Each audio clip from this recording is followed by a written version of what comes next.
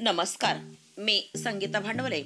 आजच्या रेसिपीमध्ये आपले मनपूर्वक स्वागत. चला तर मग आज आपण ओल्या नारळाच्या वड्या करणार आहोत.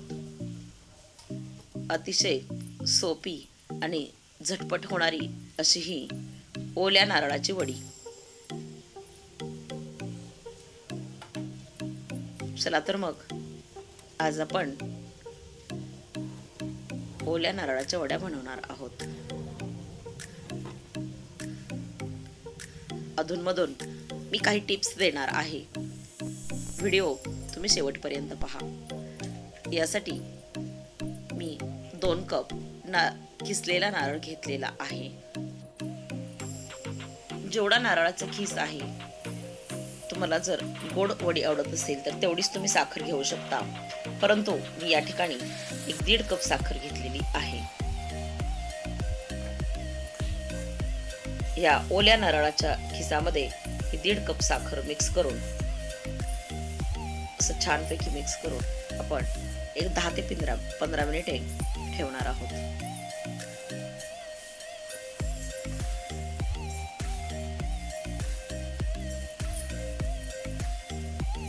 साधारण मध्यम आकाराचा एक नारळ. तो फोडून मी नारळाचा जो काळा भाग आहे तो काढून असं छान खोबऱ्याचा खीस तयार करून घेतलेला होता. आता हे मिश्रण आपण दहा ते पंधरा मिनिट या साखरेला म्हणजे साखरेचे संपूर्ण पाणी होईपर्यंत तुम्ही ठेवू शकता. अगदी मी झटपट नारळाची वडी करणार आहे. म्हणून थोडा वेळच म्हणजे थोडंसं पाणी सुटेपर्यंतच हे मिश्रण ठेवलेलं होतं. आता तोपर्यंत आपण एका ताटाला तूप लावून घेणार आहोत. ताटाला तूप लावल्यामुळे असं खाली चिकटत नाही.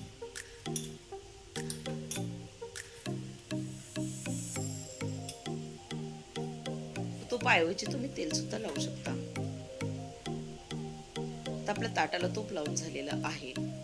गॅसवर मी एक पॅन गरम करण्यासाठी ठेवलेली आहे. त्यामध्ये दोन टीस्पून साजूक तूप घातलेलं आहे. आणि त्यामध्ये हा आपण साखर मिश्रित हा नारळाचा खीस यात मिक्स केलेला आहे.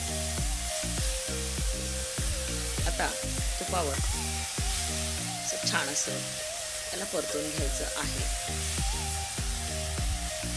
जसजशी उष्णता लागेल तसतशी आपली साखर छान अशी विरघळते. म्हणजे साखरेला पाणी सुटते.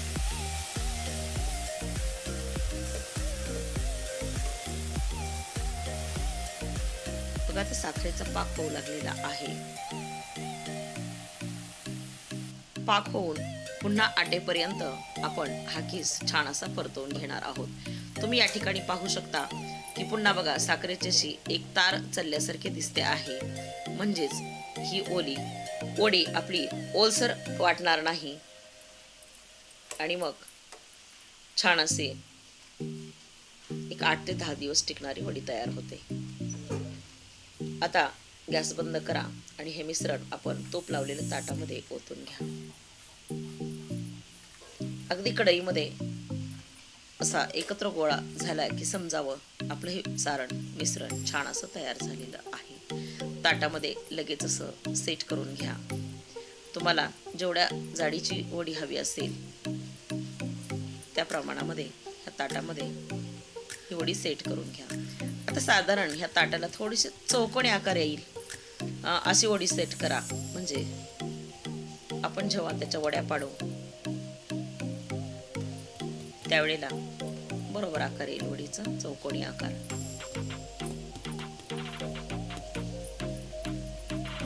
तुम्ही हाताने करू शकत नाही कारण हे मिश्रण खूप गरम असतं.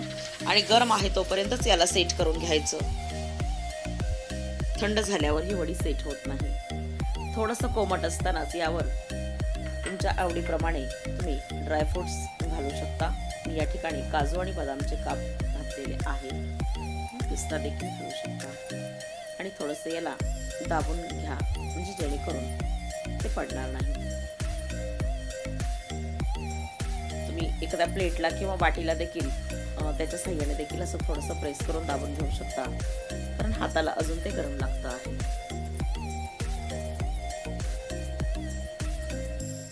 अतिशय सोपी ही रेसिपी आहे.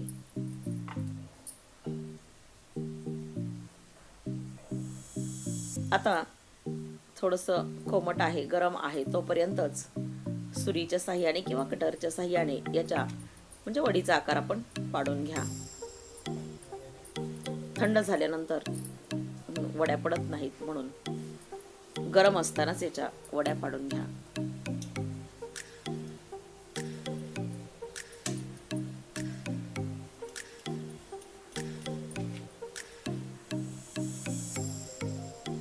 आपला थोडासा खिस असल्यामुळं ओढ्या पाडण्यासाठी जे तो खिस अधूनमधून येत असल्यामुळे थोडासा वेळ लागतो. आता आडव्या आणि उभ्या अशा सुरीच्या सहाय्याने आपण डरशा मारून घेतल्या की आपोआप चौकोनी आकाराची ओढी तयार होते.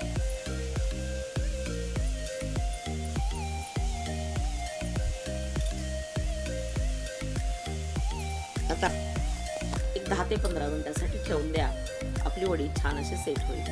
दहा ते पंधरा मिनटं आप- मिनिटानंतर आपल्या ह्या वड्या छान अशा सेट झालेल्या आहेत.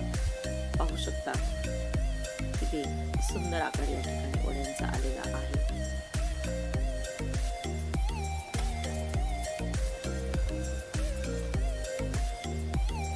एका नारळापासून आपण एवढ्या वड्या बनवू शकतो.